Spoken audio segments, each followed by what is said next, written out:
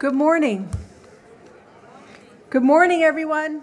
Come on, we can do better than that. There's a lot of people here. Good morning. Good. Welcome, welcome to Boston Medical Center. Today is a very special day in the history of our hospital. We're here for a very important announcement about the fight against addiction. This is an announcement that will, that will shape the course of our work here at Boston Medical Center and the course of the fight nationally and even internationally. Thank you all for joining us. I'd like to take a moment to acknowledge some very special guests who are here with us today. Senator Markey, Governor Baker, Mayor Walsh, thank you for being here.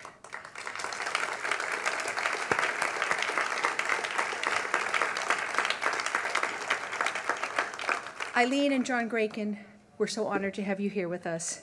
Also joining us are State Health and Human Services Secretary Mary Lou Sudders, State Department of Public Health Commissioner Monica Bharel. These are all people we know and friends of our, of our hospital. Boston Public Health Commissioner, Executive Director Monica Valdes Lupi. Thank you, Monica. The Office of the Mayor's, uh, the, the Director of the Mayor's Office of Recovery Services, Jennifer Tracy. I see you. Saw, I saw you earlier. Uh, Congressman Joe Kennedy's office is represented here this morning, and we thank them for the hard work on this issue. From our hospital, our system board chair, Jim Phelan, BMC Philanthropic Trust chair and board member and campaign co-chair Randy Cutler, BMC campaign co-chair, former board member Susan Donahue, and a big part of today's announcement. Other BMC board members include the Dean of the BU School of Medicine, Karen Antman. Our partnership with Boston University is key to this work. We have representatives from community health centers, our health plan, our clinical and administrative leadership are here, including our staff from our pioneering work on addictions. So thank you all for being here today.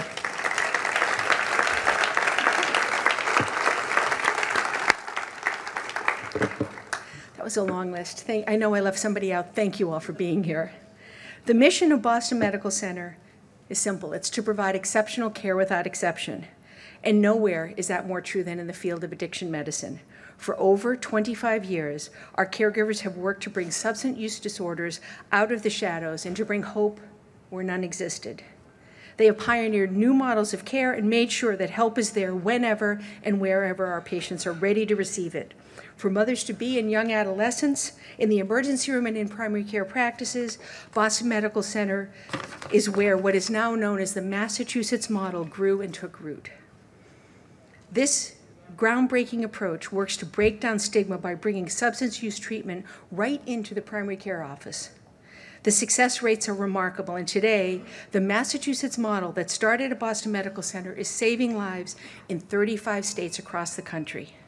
Along the way, these proven concepts have been extended and expanded through training and research that has transformed the field and with it, countless patients' lives. Later this morning, you'll hear from one of those patients, Sherry Harrison. Many of the exceptional caregivers who have done this work, work that has made Boston Medical Center a national and international leader, are here with us this morning. There are too many of you to name individually, but you know who you are. And you know that, our, that you have our gratitude for all that you have done for over two decades. And, and the gratitude we have for all that you will do in the future is profound. Let's give them a round of applause.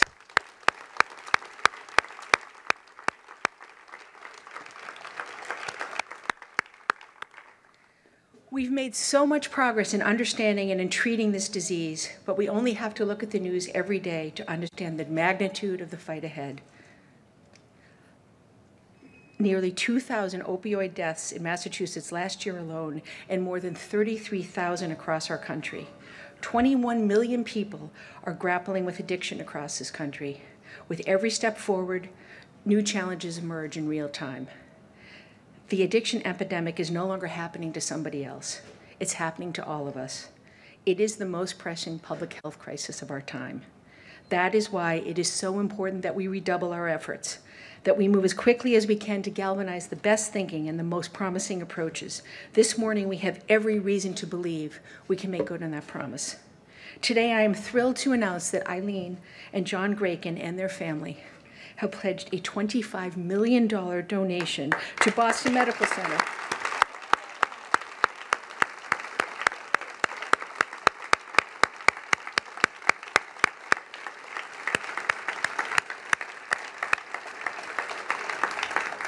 To create the Grayken Center for Addiction Medicine. This is the largest gift in BMC's history and the largest private gift in the U.S. in the last decade for addiction treatment and medicine.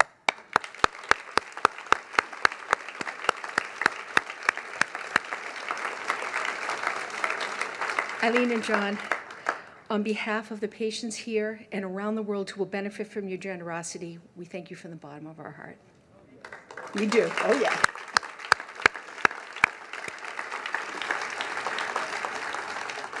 With this gift, our bold goal and the bold goal of the Grayken Center is nothing less than to be the leader in groundbreaking clinical care innovations and prevention strategies.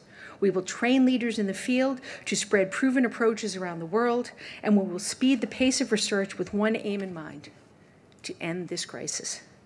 Today, we mark a major milestone for Boston Medical Center in the fight against addictions, a fight we're confident we can win. One of the reasons for our confidence is the strong partnership we have with our elected and appointed leaders. And there is no better example than, of that than Mayor Marty Walsh. Mayor Walsh has been a leader in the fight against addictions over many years. His own experience has fueled a career long and a career long track record of results for people touched by these diseases. Thanks to Mayor Walsh, Boston is the only city in the country with a dedicated Office of Recovery Services, an initiative that is bringing real help to people in need every day. As mayor, he has brought critical new resources and creative new tools uh, to the epidemic that are making a real difference in our community. Mayor Walsh, BMC and our caregivers are proud to partner with you. Thank you for your work and for being with us today.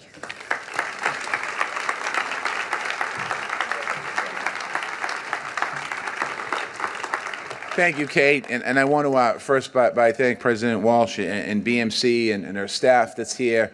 Uh, I want to thank you all. I want to thank the board members that are here today uh, for your dedication and commitment uh, to this very important issue to all of us. Uh, those of you that are in recovery here today, I want to thank you for being here as well, uh, for being here. Those of you that uh, I met one young man that he's sober a few days, so keep at it, a day at a time. Thank you.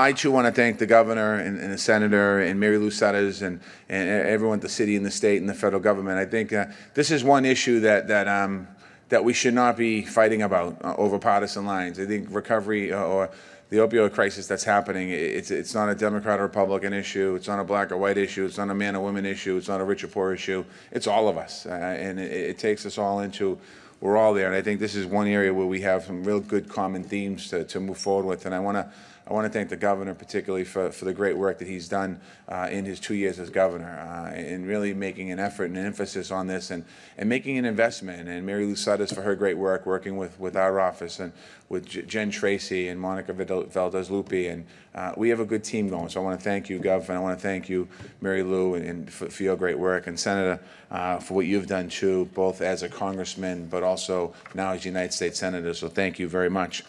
Um, I want to thank Eileen and John as well for this incredible gift. Um, this is, as, as, as, Kate Walsh said, the biggest donation ever to BMC. Uh, and the fact that it's going towards recovery and treatment uh, means the world, certainly to me, and this hospital and what this hospital has done. Um, as you know, I don't have to, I'm not preaching to you because you know this, but this gift is going to help raise awareness. This gift is going to help increase understanding. This hope is, this gift is going to bring hope and probably the most important thing, this gift is definitely going to save lives. Uh, and I want to thank you for, for your donation and, and, and for your gift, really. It's not really a donation, it's a gift.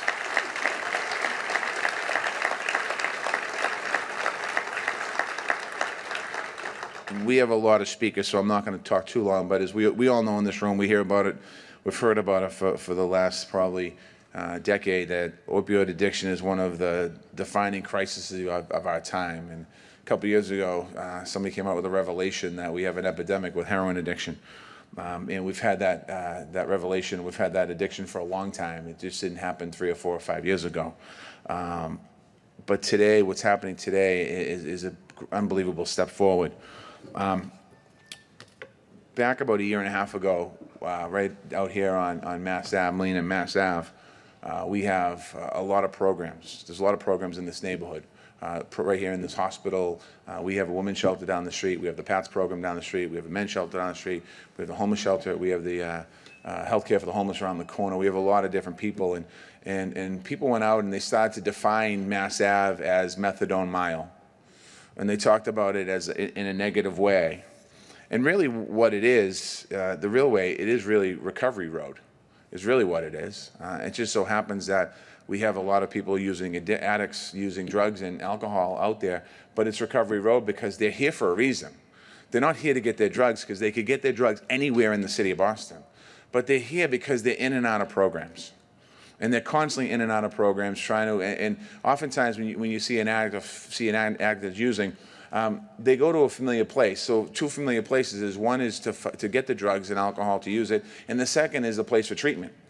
So they're here because of that really and what the Grayken Center for Addiction Medicine is going to take this whole area to a whole new level uh, it's going to turn Recovery Road into Recovery Nation and it's really going to open up opportunities for people to, to be able to do the research and do what we really have to do to move forward. This gift is going to help Boston and its world class brain power to be able to find, have more groundbreaking research. It's going to strengthen the continuum of care, and anyone that is here in recovery, you know that. It's not simply just going to a program and then hoping for the best. It's a continuum of care, making sure you have the follow up, making sure we move forward. It's going to make sure that the medical professionals that we have here in this hospital in this city understand the knowledge and tools they need to rec- recognize and heal addiction. And not just here, but this can be this is going to be used as a model for the rest of the United States of America and the world. Because the drug addiction we're facing here in this country is, by the way, happening in Europe and other parts of the world as well. So it's not just limited here to the United States of America. I want to thank the Grayken family. I want to thank BMC. I want to thank the Boston medical community for not, not, not stopping and continuing to move forward. Um, we're going to turn around this opioid crisis. We're certainly going to work on preventive medicines for the future, and we are going to be a leader in all this. So I just want to again thank you for this. This is, um, for me personally, I think it's uh, it's an incredible. We've gone to I've gone to a lot of announcements and a lot of gifts given to different places for different things, but when somebody um, makes the gift to the person that right now is is nodding off on Mass Ave, um, that's truly giving a gift and passing it along and helping somebody. So again, to both of you, thank you very much. To all of you here today, thank you very much.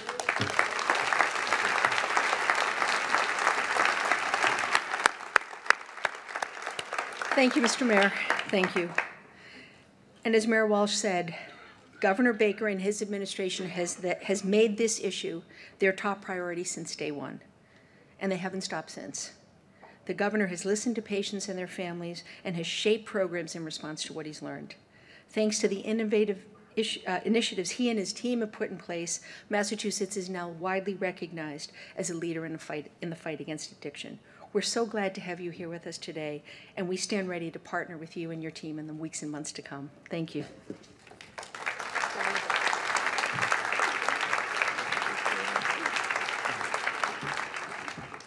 Well, first of all, I, uh, first thing I said to Kate when I came through the lobby was, there's a lot of people out there. Who's taking care of the patients? Um, let me echo uh, Mayor Walsh's comments about thanking you all and thanking the community generally for the work that you do every day to advance the science and the knowledge with respect to treatment, recovery, and prevention and education. And truly, um, I've never met anybody who speaks to these issues with as much passion and knowledge and empathy as the mayor does. He is by far, in my view, um, the most important player on this issue because anybody who's ever spent any time with him on this knows that he does not separate his own experience from the experience of others when he talks about addiction. And it is powerful and it's meaningful and it moves people, including folks like me, and I know many of you. So, Mayor, thank you for all you've done on this issue. To the Grayken family, all I can say is God bless and thank you for what you've done. And, uh, and Kate talked a little bit about the fact that this puts this issue on the map in a way that it hasn't been before. And you made me think of a couple things, Kate, when you said that. One was there's a moment in um, the HBO documentary called Heroin USA where they have a group of moms and dads who are dealing with addiction with their own children, sitting around talking. And one of the women says, You know, if my kid had cancer, everybody be coming over, over the house every night with a, with a casserole and asking what they could do and how they could help us. But because my kid's dealing with addiction, which in this particular case has a mortality rate as high or higher than many forms of cancer, I don't feel like I can talk to my neighbors about it all, and they certainly don't feel like they want to talk to me about it. The isolation and the, the sense of I'm in this by myself that's associated with this is overwhelming. And your decision to choose to make such a major contribution to research and treatment and prevention, um, and to put a big stamp on the notion that this issue deserves the same sort of clinical inquiry that so many others get, especially in this town, is a major statement. And we appreciate that.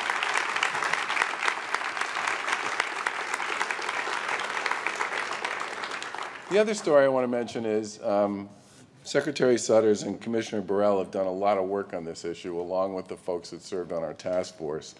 And it was through them that I got to know um, Joanne Peterson and the folks at Learn to Cope, which is um, sort of a, a, a group of folks who get together on a pretty regular basis around the Commonwealth to talk about their shared experiences with addiction, particularly if you're somebody who's dealing with a family member who's dealing with this. And I've, I've been to the, sort of sit through those sessions on a number of occasions, and the one that really sticks out for me is I was at a session in Cambridge, and, um, and people were working their way around the room, and, and one dad said, you know, I live in Cambridge, but the first time I went to one of these meetings, I went to Salem. And the reason I went to Salem was because I was afraid if I went to the meeting in Cambridge, I might see somebody that I knew. So he went to the meeting in Salem, and two people he knew from Cambridge were at the meeting in Salem. You can't underestimate how important, how important it is for the family members who are dealing with this stuff and for the people themselves who are dealing with these issues to be able to believe there's a community out there that's trying to help them work their way through this and that they're not all by themselves and they're not alone. And that people are putting the shoulder to the wheel on this issue the same way we do on so many others. And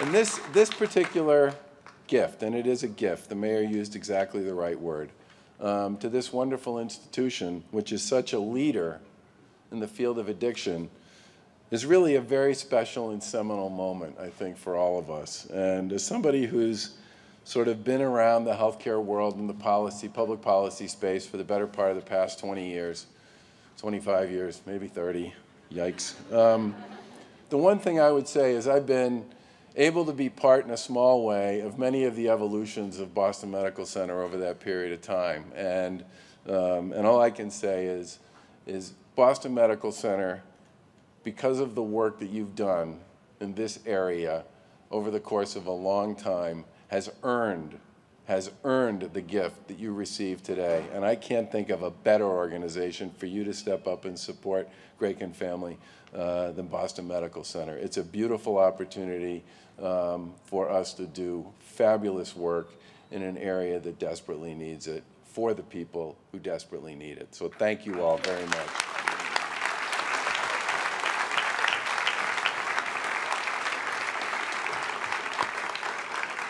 Thank you, thank you, Governor Baker.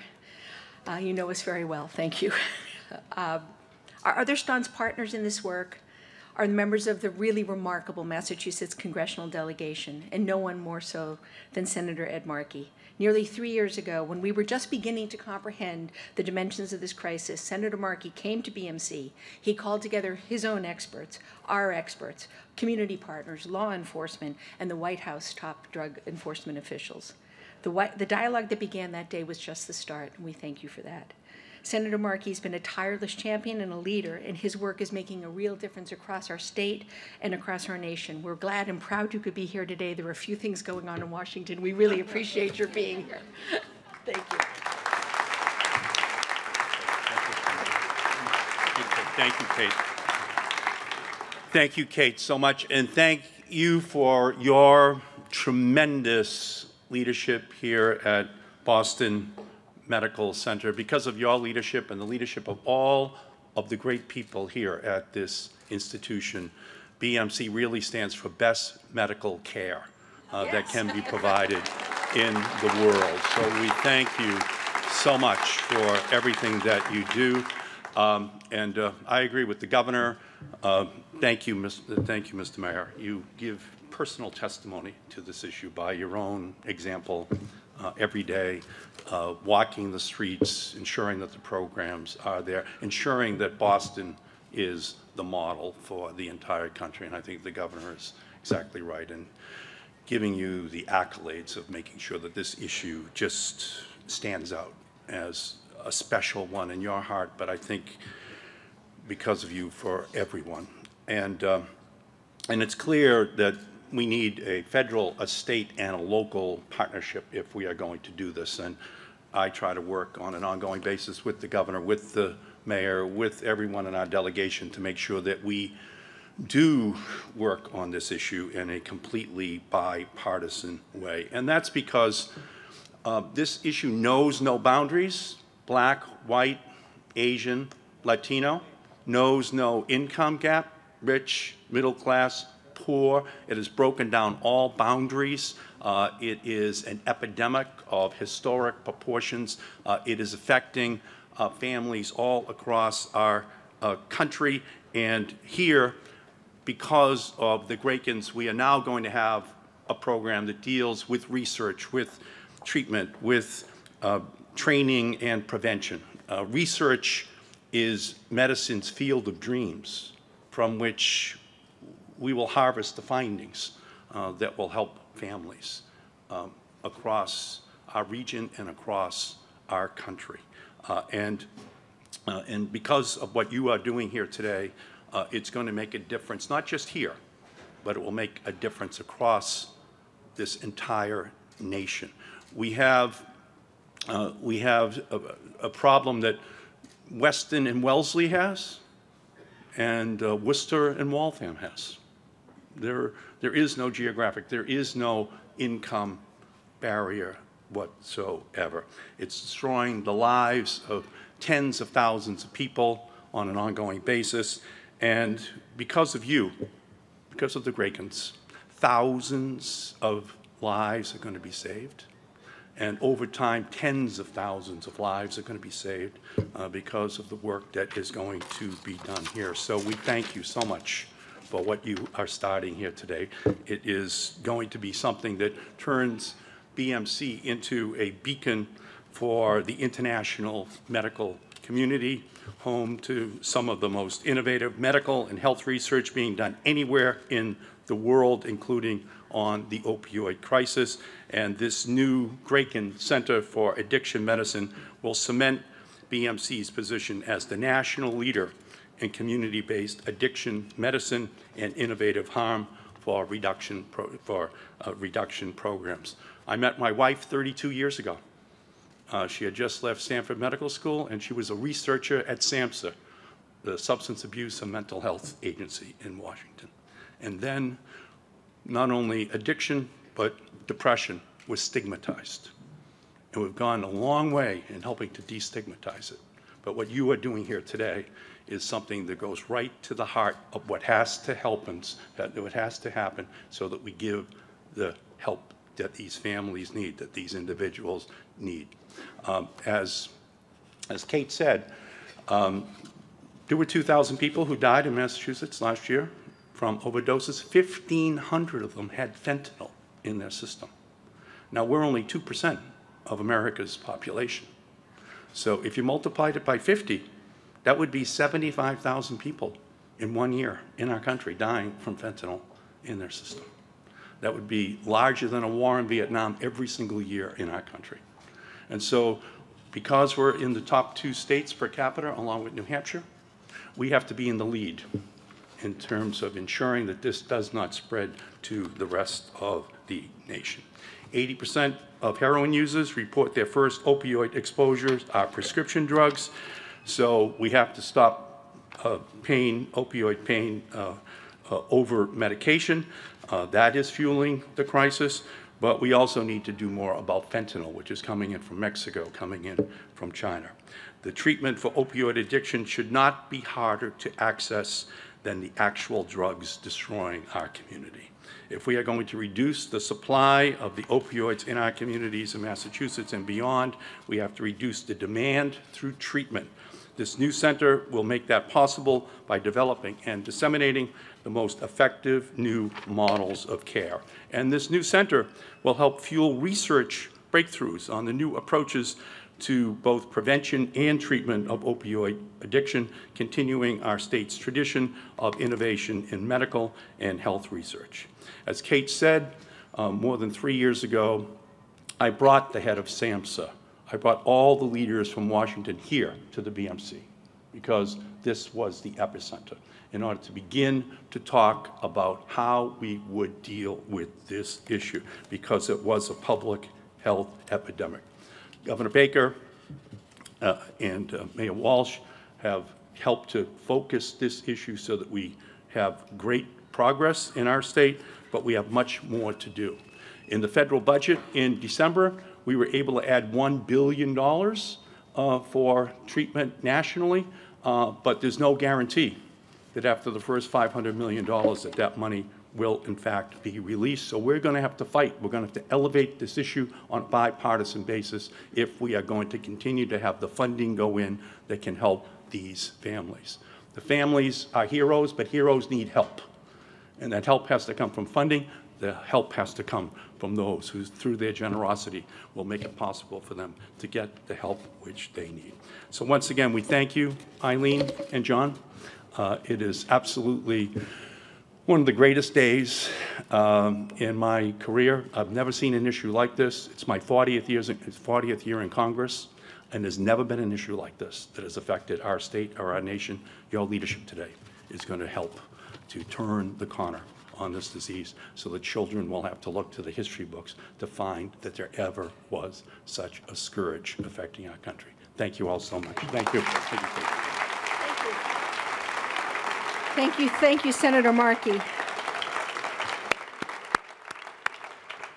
No, nothing, nothing could give me more pleasure than to introduce to all of us, the BMC community, I want to introduce you all to Eileen Grayken. Eileen and John, thank you for this extraordinary gift. Come on up here, I'm going to embarrass you. for the faith, for the faith you put in our unbelievably talented caregivers, for your commitment. Oh, we should clap some more. Let's just clap some more. We're going to give it up.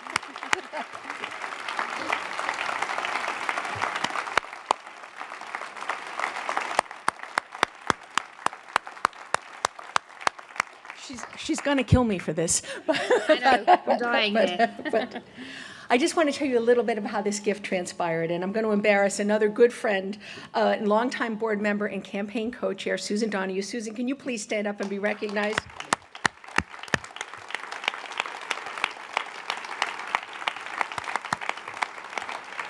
She said, Kate, I'm going on a tour and I'd like you to come. I'm taking someone on a tour and I'd like you to come. And uh, we've got, and you've gotten to know Boston Medical Center better basically by visiting us by spending time with many of the people in the room today. Um, and your connection to this work was immediate. It was clear. You asked really good questions. You, uh, you, uh, you understand that this is a complicated and challenging uh, issue we're dealing with, um, and that you, uh, you translated that engagement and understanding of our organization into a transformative commitment.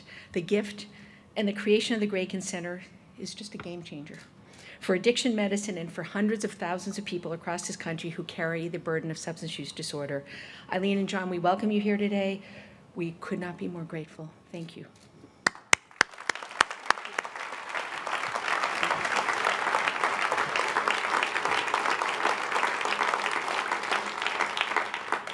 Thank you, everybody. It's wonderful to see so many people here.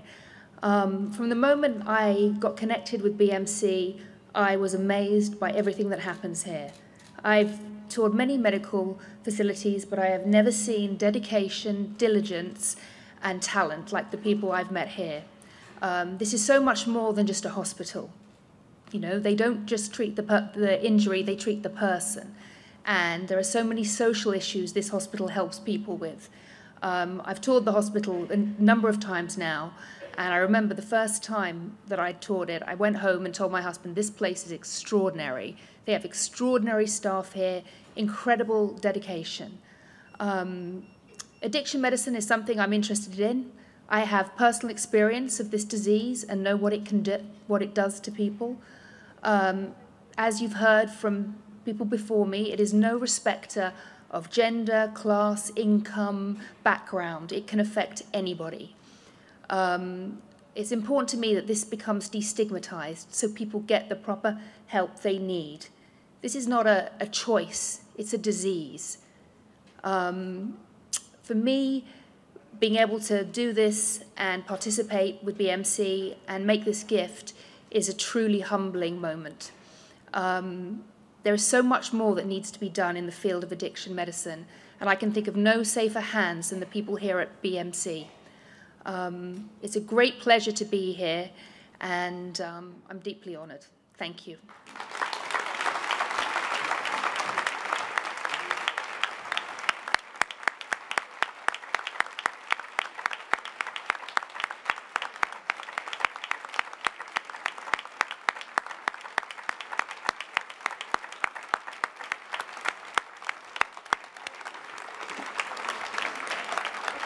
Thank you, Eileen. You were terrific. You did that without a note. You're making me look bad in front of a lot of people. But thank you, thank you. Um, Susan Donahue, thank you again for making this connection. I want to give a special shout out to our colleagues in BMC Development who helped organize today and the strategy team who put this vision together and marked this as a key strategic priority for our great hospital and organization. Thank you, thank you.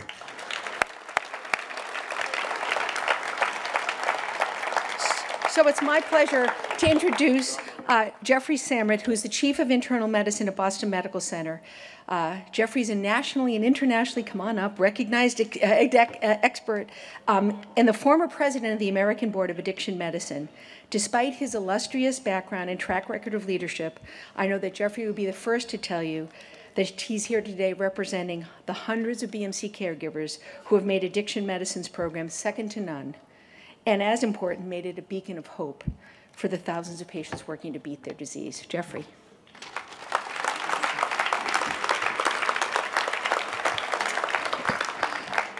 Thank you, Kate. This is a very sweet moment.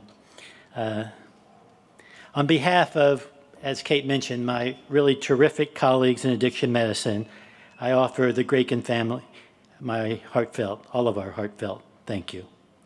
You know, we see the difference that we make every day in the clinics, in the hospital, for patients and their families, and we work to share and better understand this work in our research and with our colleagues around the country.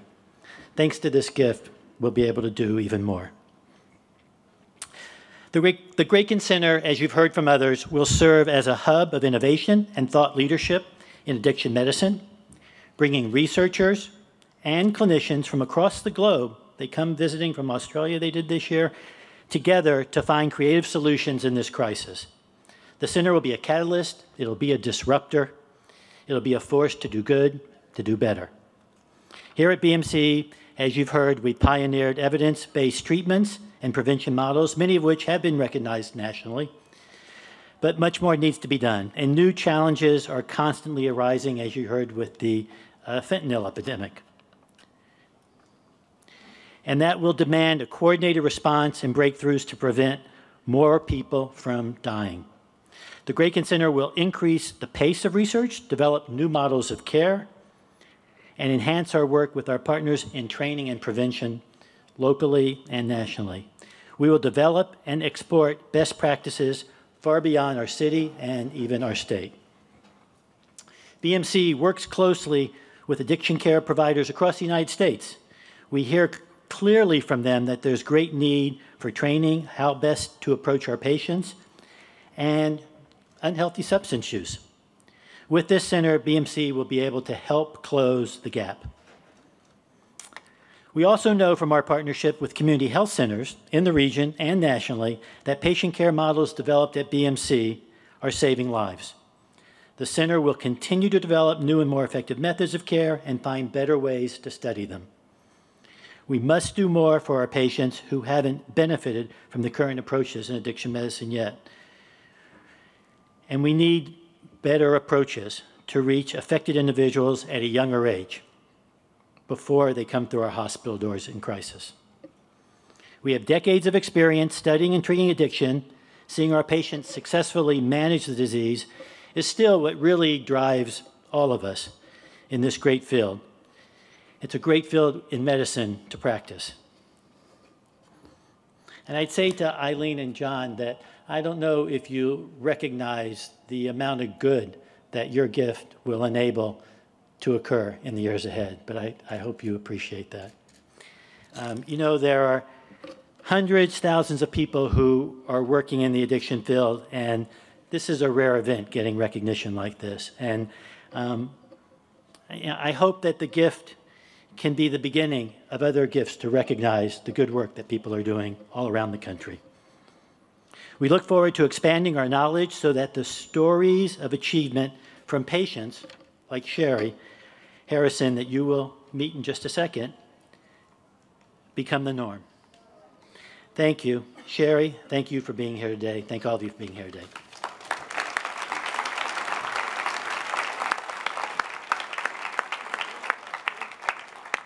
Now, it's my honor to introduce Sherry Harrison, a pro- uh, who's, who will speak for herself, who does a great job telling, a story, telling her story. Thank you. I don't know about that. Um,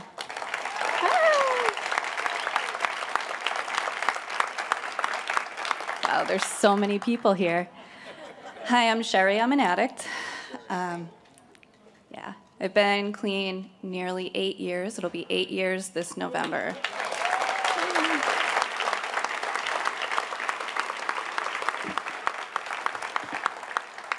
So I was thinking this morning about what I could come up here and say that would adequately express my my gratitude to Boston Medical and to the Graykens and to everyone who cares about this issue um, in the span of two minutes. And I decided I'd talk about a couple of pieces of my story that I don't normally share. Um, and that is how I came into recovery as a pregnant addict and also my struggle with depression. And I decided to do that because part of what this is about is reducing that stigma, right? And um, these are hard things to say on camera, but that's, that's where I started. So, where I began, I was 27 years old, and I, I, had gotten to that point where I had lost my home, lost my job, family connections, all of that. I was kind of at that, that low, and I had decided at that point that I wanted to, I really wanted to stop. I really had it in me this time, and you know, I wanted that change really badly. So I checked myself into a detox. And when they did the phone interview, they had asked me, Is there any chance you could be pregnant? And I said no because I couldn't afford a pregnancy test, even though I, you know, I was beginning to suspect that I might be. And um, so I get there, and during the intake, they administer a test, and it comes back, you're pregnant. And that was a scary, scary moment. And, um, you know, but I was ready. You know, I was ready to, to do this and handle my life. And um, so they discharged me because most detoxes aren't equipped to hand, to treat pregnant women. And where I ended up coming about a week later, is it took me some time to to find where to go was Boston Medical Center, and they treated me, and I began treatment. Um, and when you're when you're pregnant, you have to remain on treatment. You can't come off completely. So I, I went on buprenorphine treatment. And I also dealt with the depression. So throughout my 20s, I had multiple suicide attempts that ultimately failed. And, you know, once I got clean, I could kind of see those issues and work through them. And um, Boston Medical staff has been excellent. They're just done such a great job with me. I can't express. There's so many people, nurses, my doctors. They've been amazing throughout this journey, and I've stayed with them. I still still receive my care here. Um, so, a lot's been said. Um, I'm really honored to be up here and speak as an addict who, you know, personally knows how much of a difference this can make. And thank you to all of you. Um, addiction is a disease. It's not a moral failing. It's not a character flaw. And um, it's really touches me that people are really beginning to understand this and there is so much more that can be done and i agree that boston medical is you know the place um, with that innovation the people to do it so thank you to the Graykens and thank you for all of you being here Thanks.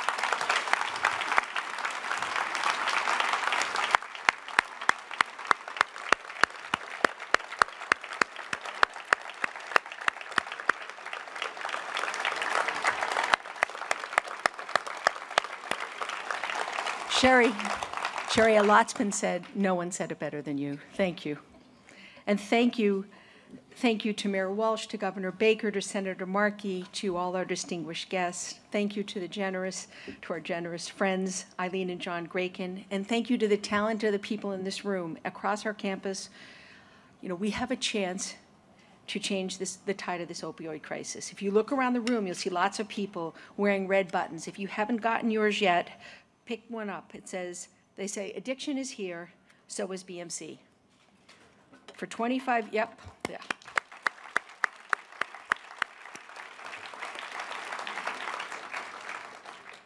For 25 years, we fought this fight, and we'll be fighting until, till it's won. Thank you all for coming. Let's have one last round of applause for all of us as we go forward together, especially for our friends at Graykens. Thank you all for being here today. Now, I'm going to respectfully echo the governor and suggest everybody get back to work. Thank you.